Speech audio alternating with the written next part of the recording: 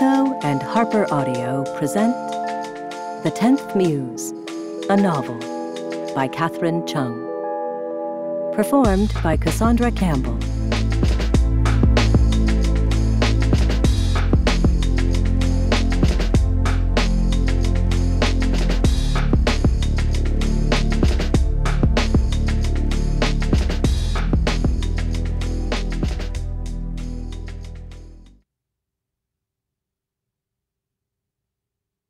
For the women who light the way forward, and for David, here, there, and everywhere. An invocation. Everyone knows that once upon a time there were nine muses. They were known as the daughters of Zeus, and wise man loved them, for they bestowed the gift of genius. Sing in me, O muse, cried Homer, and the Muses answered, filling his voice and spinning out his mortal talents to make immortal tales. What not everyone knows is that once there existed another sister who chose a different path. She was the youngest of them and the most reckless. And when she came of age and it was time to claim an art, she shook her head and she refused. She said she did not wish to sing in the voices of men telling only the stories they wished to tell. She preferred to sing her songs herself. Her sisters were shocked at this rebellion from their most beloved sister and ordered her to push these dreams aside. Don't you know the rule, they said, that the price of your dearest wish is always everything you have? But her dreams were her dreams, and she was stubborn, and when she refused to turn from them, her sisters offered her their own gifts to choose from, in the hopes that one of them might tempt her. You may have the epic poem, said Calliope, the most powerful among them.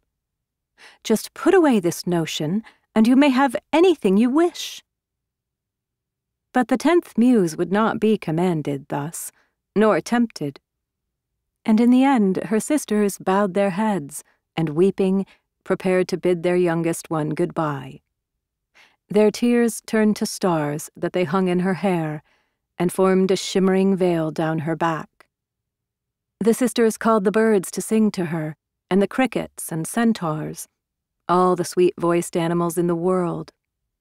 They gave her everything they could in that kingdom of immortals, hoping she would stay, knowing if she left, she would take nothing with her but she would go. And so the tenth muse was stripped of her title and her gifts, and immortality. I say stripped, though she was the one who shrugged them off, as lightly as a dress, and laid them quietly aside. What she received in turn was no more, no less than exactly what she'd asked for a voice to sing with what she would.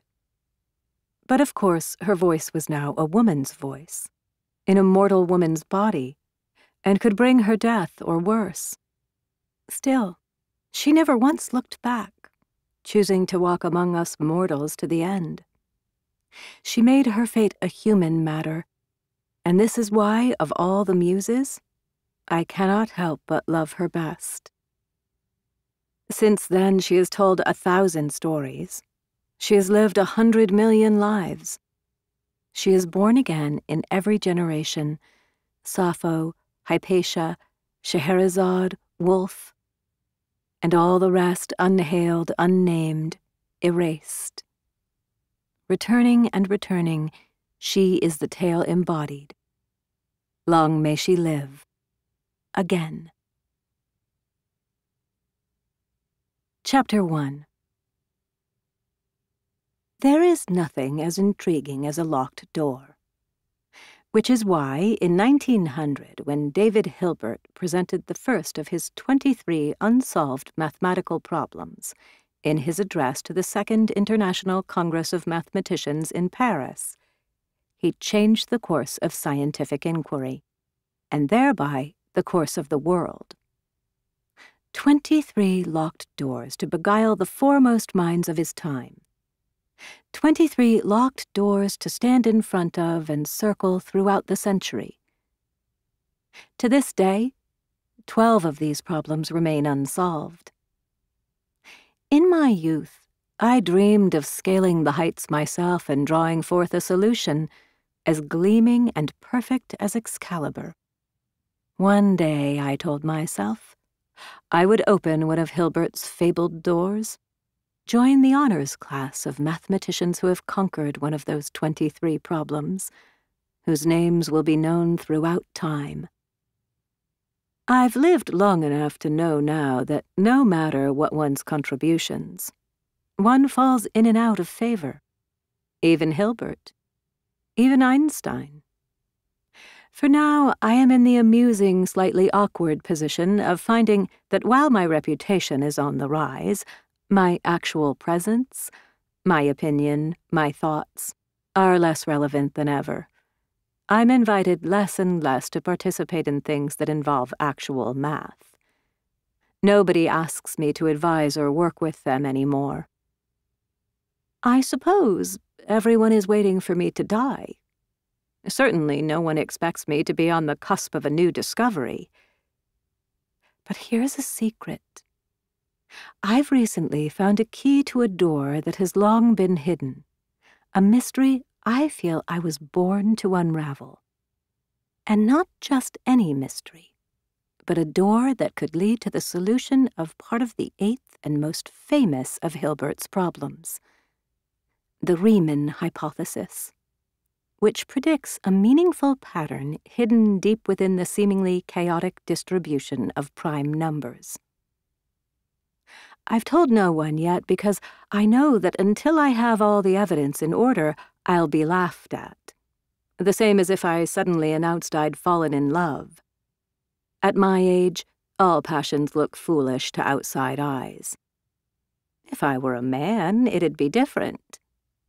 I don't mean that as an admission of envy, but as a statement of fact. Because who has time for envy anymore? The days speed by so quickly, gaining momentum with each passing month. The fear that I'll die before I get to the end fuels my work, and I wake with an urgency that feels like an echo from youth, a reflection of the desperation I felt in my early years when I feared I'd missed my chance. Perhaps this is why I dream more and more of people from my grad school days, my old competitors and colleagues, my professors, and especially Peter. In my dreams, everyone is dying. They lie down one by one in perfectly ordered graves that proceed along a straight line, head to toe, forming a road that points at the horizon. I ask them where this road leads. And each time I ask my question, they smile and reach up to close their coffins, shut their eyes, and die. Goodbye and good riddance, I'd say, if the dream ended there. But then I notice that the closed coffins have numbers and symbols on them, and the string of them forms an equation strangely familiar to me, one that I know the solution to. So I walk up and down, trying to figure it out.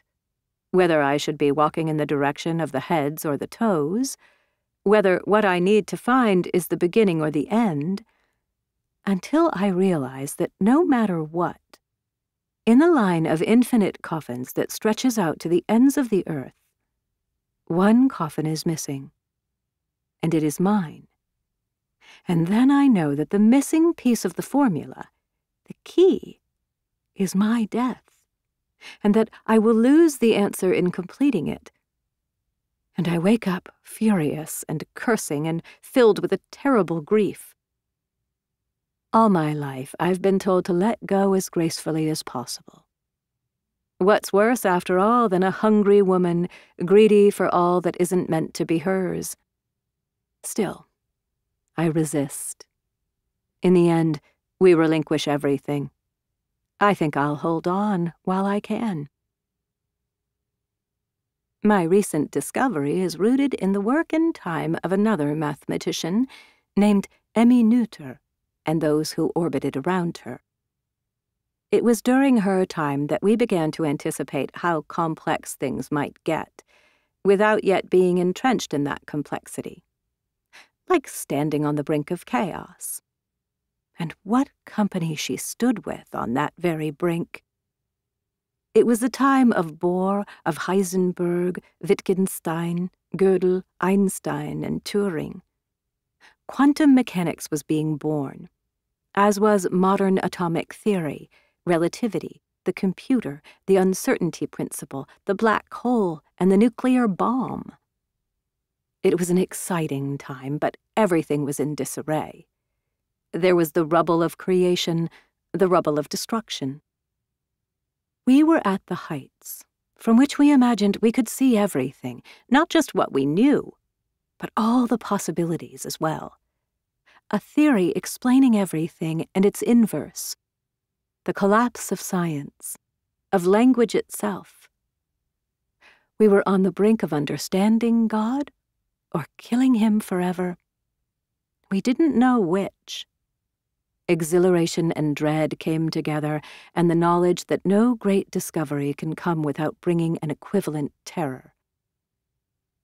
It was around that time that Schilling and Meisenbach exploded onto the scene with a brand new theorem that dazzled everyone who read it, and seemed to sketch a possible opening into the Riemann hypothesis.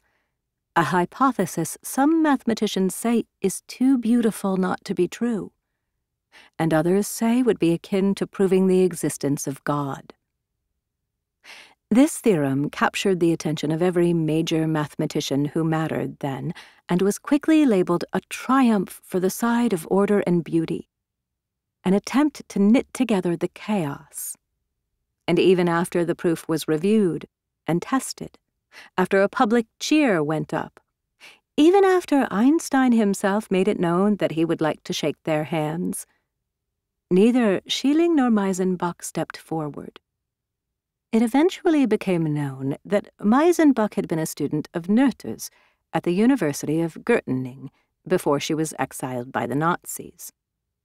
Though he'd remained there in Göttingen throughout the war and afterward, his partner, Schilling, had disappeared shortly before publication of their paper. In deference to his partner, in silent vigil, Meisenbach refused to appear for any of the honors offered to him. And he never spoke of the man who'd co authored what would be his greatest contribution to the field.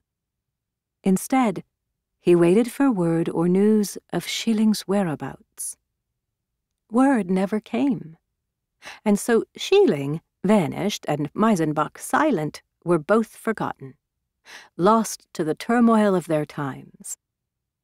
It would be shocking how quickly this happened, given their contribution. But they were working during one of the most exciting times for science, and also the most dangerous. The world order was changing on every level. To quote Newton, for every action there is an equal and opposite reaction. And the earnest idealism that had briefly ignited the hearts of students all over the continent of Europe in the aftermath of the First World War had been overtaken by fury and nationalism. The sky was opening. The gods had fallen. Fascism had gained its foothold. Mussolini was leader in Italy. Hitler was on the rise in Germany. The mood of the times was turning murderous. And so the war came, and bombs were dropped, and schools were closed, and the Jews and homosexuals, the dissidents and handicapped were led away as their neighbors watched on. And so many, so many were killed. Emmy Noether was the first of the mathematicians in Göttingen to lose her job. And she went to America to live and work, where she died very soon after.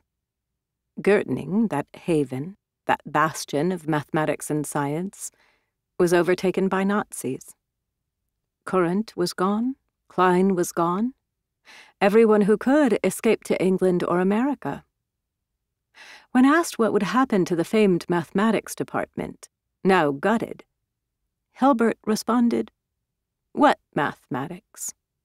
There is no mathematics in Göttingen any more. And such was the loss in the realm of mathematics. We hope you enjoyed this preview. To continue listening to this audiobook on Google Play Books, use the link in the video description.